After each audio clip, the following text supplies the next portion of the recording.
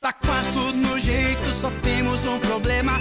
Essa geladeira pra hoje vai ser pequena, mas não esquenta, a gente sabe o que fazer. Chama um encanador que ele vai resolver. Pega a caixa d'água e enche de cerveja. Deixa vir rolando pela calha até a mesa. Problema resolvido, já dá pra começar. A festa só acaba quando a caixa d'água esvazia. Sede cerveja, sede cristal. Beba com moderação.